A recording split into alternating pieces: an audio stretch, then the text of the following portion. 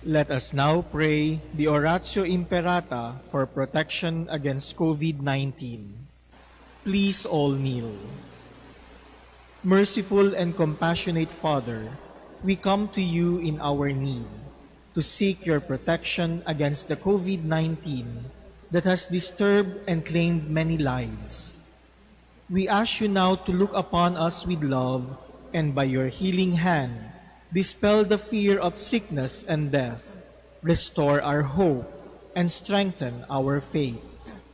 We pray that you guide the people tasked to find cures for this disease and to stem its transmission.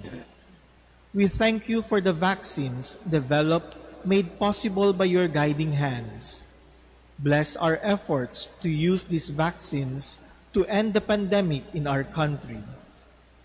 We pray for our health workers that they may minister to the sick with competence and compassion. Grant them health in mind and body, strength in their commitment, protection from the disease. We pray for those afflicted. May they be restored to health. Protect those who care for them. Grant eternal rest to those who have died. Give us the grace in these trying times to work for the good of all and to help those in need. May our concern and compassion for each other see us through this crisis and lead us to conversion and holiness. Grant all this through our Lord Jesus Christ, your Son, who lives and reigns with you in the unity of the Holy Spirit, God forever and ever. Amen. We fly to your protection, O Holy Mother of God. Do not despise our petition in our necessities, but deliver us always from all dangers. O glorious and blessed Virgin, Amen. Our Lady, health of the sick, Pray for us. Saint Joseph, Pray for us. Saint Raphael the Archangel, Pray for us. San Roque, Pray for us. San Lorenzo Ruiz, Pray for us. San Pedro Calungsod, Pray for us.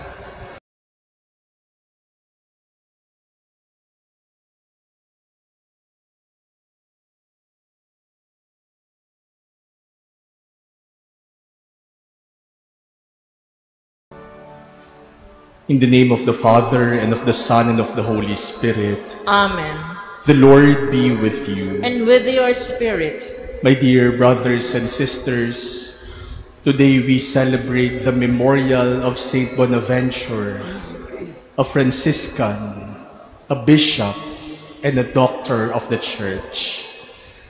Let us prepare ourselves to celebrate this Eucharist by humbly acknowledging our sins and by entrusting ourselves to God's merciful love. Lord Jesus, you show us the way to the Father. Lord, have mercy. Lord have mercy. Lord Jesus, you give us the consolation of the truth. Christ, have mercy. Christ have mercy. Lord Jesus, you are the good shepherd leading us to everlasting life. Lord, have mercy. Lord have mercy. May Almighty God have mercy on us. Forgive us our sins and bring us to everlasting life. Amen. Let us pray. Grant, we pray, Almighty God, that just as we celebrate the heavenly birthday of the Bishop Saint Bonaventure, we may benefit from his great learning and constantly imitate the ardor of his charity. Through our Lord Jesus Christ, your Son, who lives and reigns with you in the unity of the Holy Spirit, one God forever and ever. Amen. Please be seated. A reading from the book of Exodus. Moses, hearing the voice of the Lord from the burning bush, said to him, When I go to the children of Israel and say to them, The God of your fathers has sent me to you. If they ask me, What is his name? What am I to tell them? God replied, I am who am.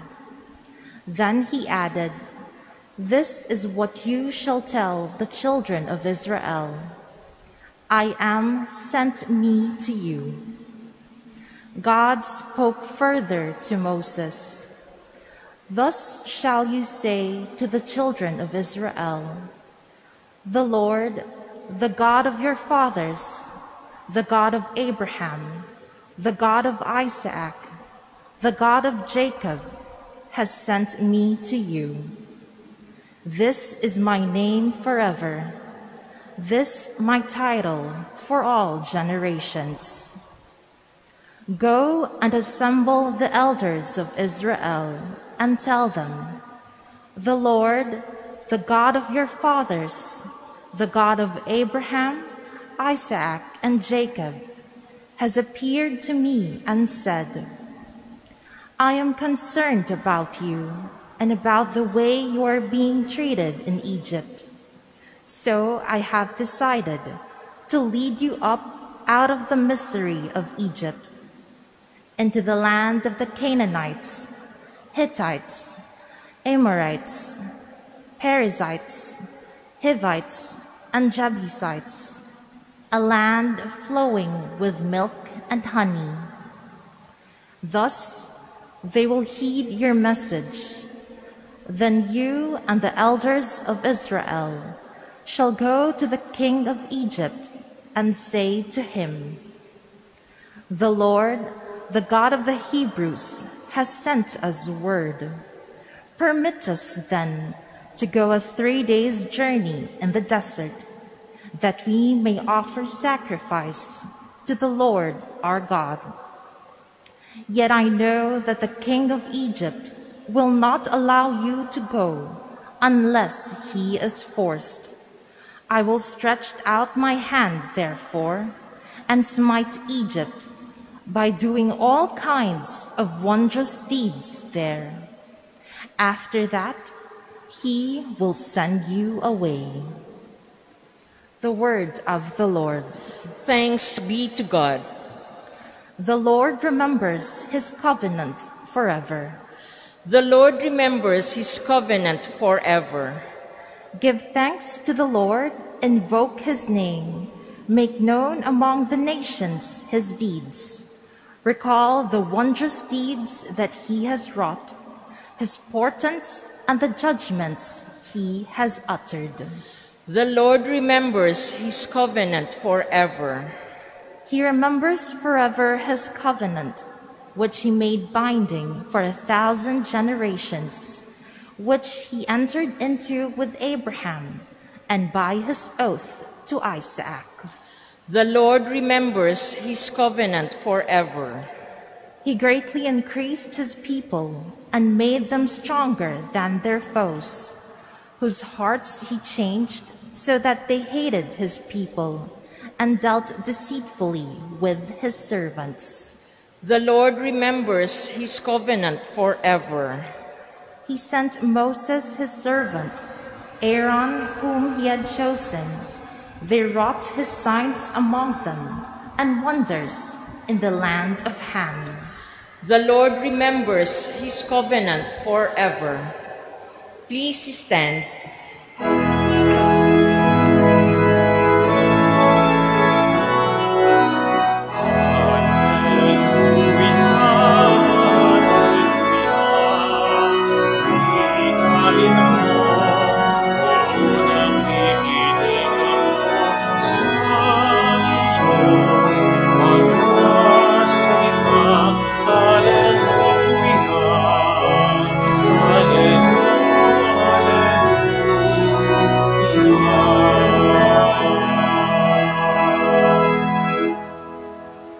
The Lord be with you. And with your spirit, A reading from the Holy Gospel according to Matthew. glory to you, O Lord.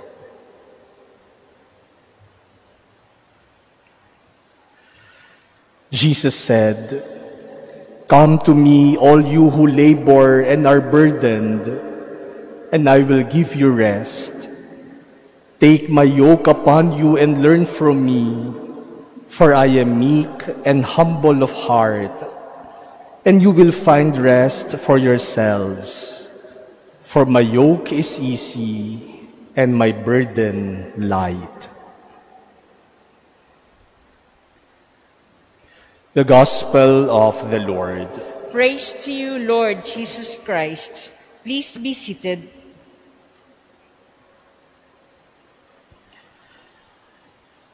My dear brothers and sisters, in our first reading yesterday, God revealed himself to Moses through the burning bush.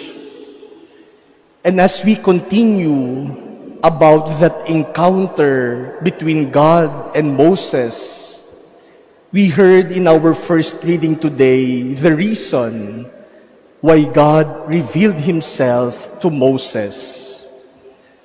After telling Moses who he is, God revealed to Moses what he plans to do for his people, Israel, who are treated as slaves in Egypt. God said to Moses, I am concerned about you and about the way you are being treated in Egypt. So I have decided to lead you up out of the mystery of Egypt.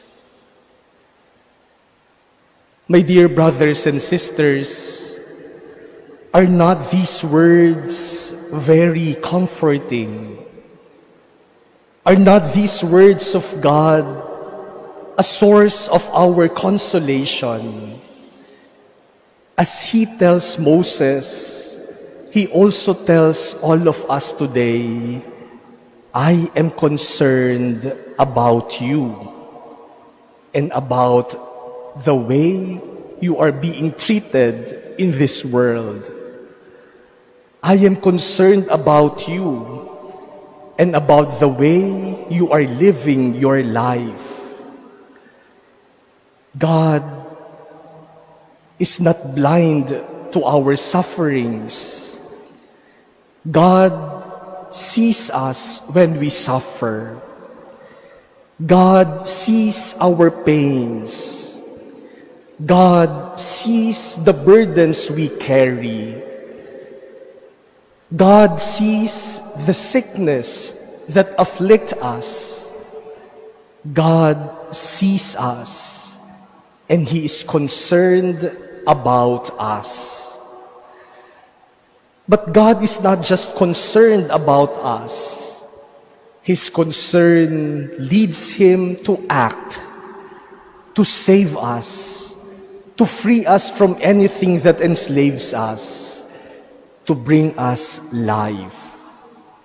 Nakikita ng Diyos ang lahat ng ating pinagdaraanan at hindi lamang niya nakikita, naaawa siya, naahabag siya, nagmamalasakit siya. At yung malasakit na yun, hindi lamang pakiramdam, kundi nagtutulak sa Kanya na gumawa upang ibigay sa atin ang kaligtasan. That is who our God is. That is why Jesus in our gospel tells us, Come to me, all you who labor and are burdened, and I will give you rest. Today, my dear brothers and sisters, we celebrate the memorial of Saint Bonaventure. Bonaventure was born of a very wealthy family. He was well educated. In fact, he was very intelligent. He is considered as the Thomas Aquinas of the Franciscans. And yet, despite all these, Bonaventure remained humble and simple. He entered the Franciscans and lived the poverty of the Franciscans after the example of St. Francis of Assisi. And through his teachings, Bonaventure made us realize that God is not something only perceived by the mind, that God is not just an object of the mind. God is someone experienced by the heart. This God is a God of love. Our God is a God who is concerned about us. Our God comes to save us. My dear brothers and sisters, not all people are concerned about you. Hindi lahat ng tao nagmamalasakit sa iyo. And some people do not even care about you. Some people do care, but they will not even lift a finger to help you. Sasabihin sa iyo, kawawa ka naman, ang dami mong pinagdaraanan, pero wala namang gagawin para tulungan ka. At ganyan din naman tayo sa iba. We care for people, but sometimes we do not do anything to help them.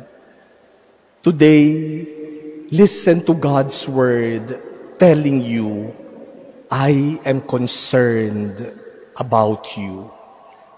I am concerned about what is happening to your life. I am concerned about your suffering. And so come to me as Jesus invites us. Let us go to Jesus, for in Jesus we will find rest. Let us go to Jesus, for Jesus will give us life.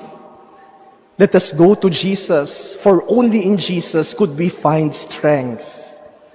Let us go to Jesus, for in Jesus we will have salvation.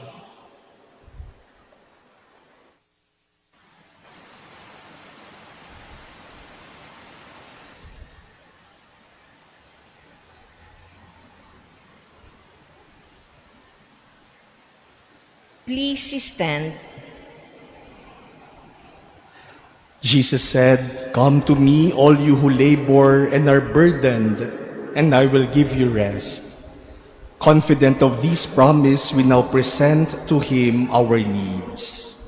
For every petition, let us say, Lord, hear our prayer. Lord, hear our prayer. that the church may guide us in the ways of peace and reconciliation. Let us pray to the Lord Lord, hear our prayer.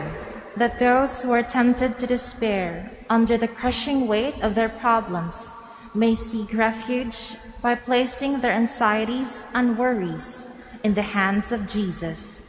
Let us pray to the Lord Lord, hear our prayer. that those who are suffering from mental torment may find peace in Christ. Let us pray to the Lord Lord, Lord, hear our prayer. that those who are weighed down by bodily pain and illness may find comfort and healing in the care and concern of those who nurse them. Let us pray to the Lord Lord, hear our prayer. that those who have died may enjoy the everlasting happiness in the kingdom of God. Let us pray to the Lord Lord, hear our prayer. We pray in silence for our personal petitions. We pray for the people who requested our prayers and for the intentions offered in this Mass. Heavenly Father, your Son promised to give us rest when overburdened. Grant that we may always respond to His guidance and strengthen us to be instruments of His peace. We ask this through Christ our Lord. Amen.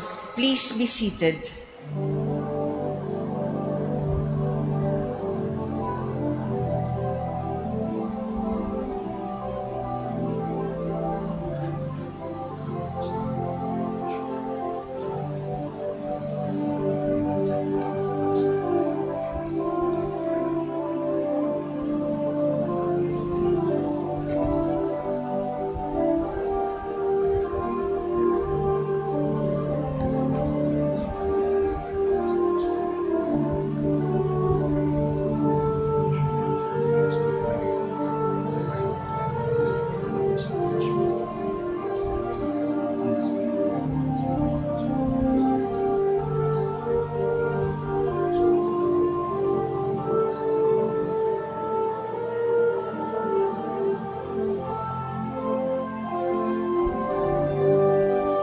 Stand.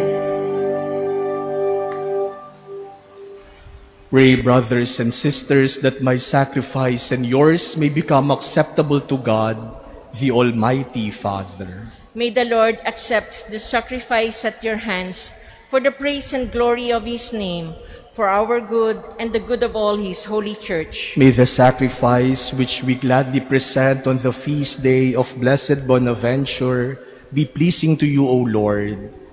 For taught by him, we too give ourselves entirely to you in praise, through Christ our Lord. Amen. The Lord be with you. And with your spirit, Lift up your hearts. we lift them up to the Lord. Let us give thanks to the Lord our God. It is right and just. It is truly right and just, our duty and our salvation, always and everywhere to give you thanks. Lord, Holy Father, Almighty and eternal God, through Christ our Lord. For us on the festival of Saint Bonaventure, you bid your church rejoice. So too you strengthen her by the example of his holy life. Teach her by his words of preaching, and keep her safe in answer to his prayers. And so with the company of angels and saints, we sing the hymn of your praise, as without end we acclaim. Holy, holy, holy Lord God of hosts, heaven and earth are full of your glory. Hosanna in the highest. Blessed is he who comes in the name of the Lord. Hosanna in the highest. Please kneel. You are indeed holy, O Lord, the fount of all holiness. Make holy, therefore, these gifts, we pray, by sending down your Spirit upon them like the dewfall, so that they may become for us the body and blood of our Lord Jesus Christ. At the time he was betrayed and entered willingly into his passion, he took bread, and giving thanks, broke it, and gave it to his disciples, saying, Take this, all of you, and eat of it, for this is my body which will be given up for you.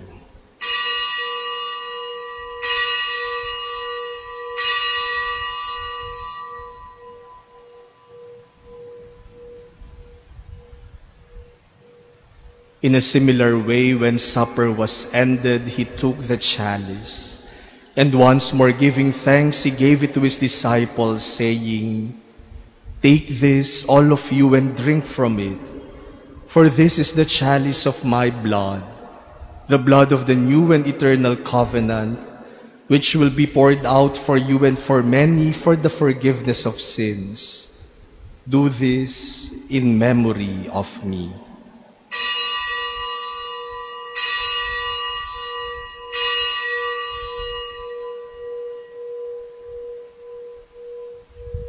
Please stand.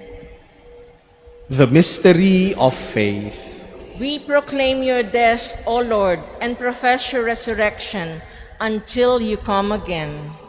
Therefore, as we celebrate the memorial of his death and resurrection, we offer you, Lord, the bread of life and the chalice of salvation, giving thanks that you have held us worthy to be in your presence and minister to you.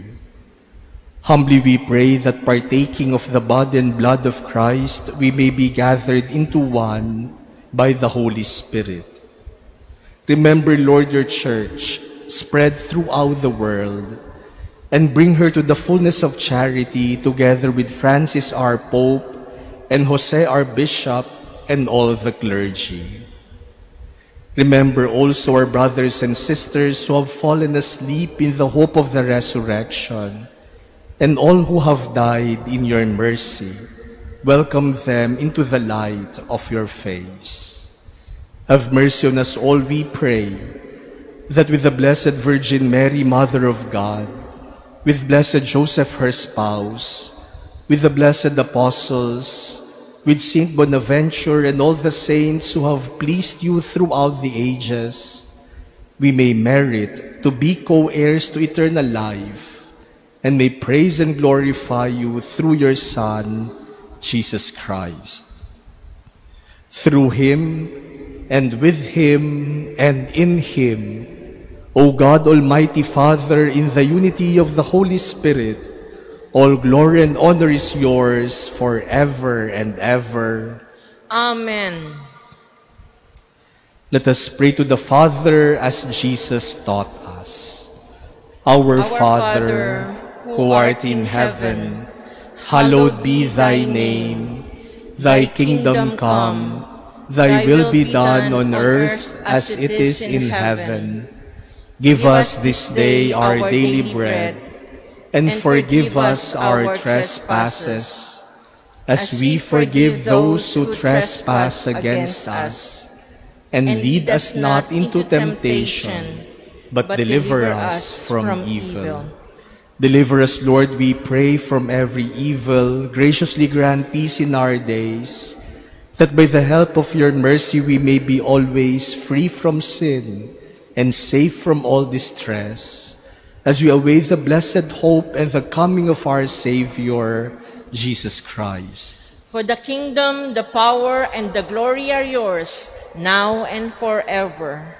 Lord Jesus Christ, who said to your apostles, Peace I leave you, my peace I give you, look not on our sins, but on the faith of your church, and graciously grant her peace and unity in accordance with your will, who live and reign forever and ever. Amen. The peace of the Lord be with you always. and with your spirit. Let us offer each other the sign of peace.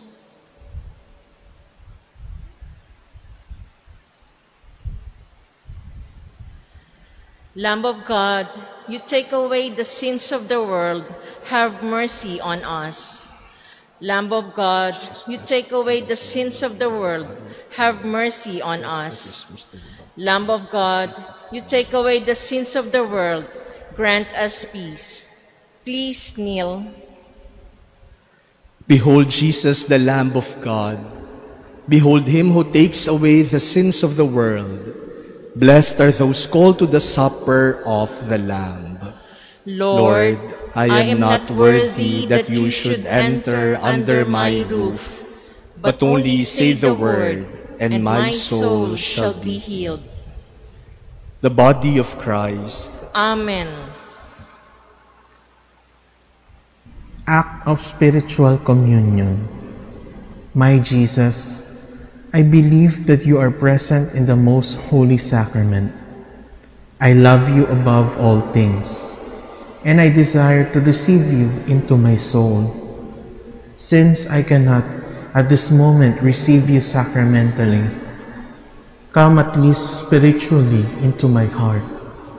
I embrace you as if you were already there and unite myself wholly to you. Never permit me to be separated from you. Amen.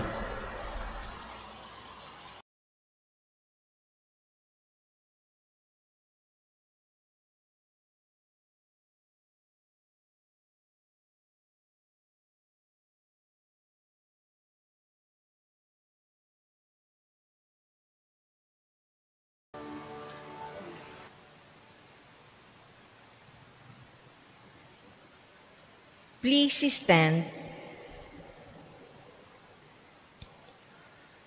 Let us pray. Through Christ the teacher, O Lord, instruct those you feed with Christ the living bread, that on the feast day of blessed Bonaventure they may learn your truth and express it in works of charity through Christ our Lord. Amen. The Lord be with you. And with your spirit, May Almighty God bless you, the Father, and the Son, and the Holy Spirit. Amen. Go forth, the Mass is ended. Thanks be to God.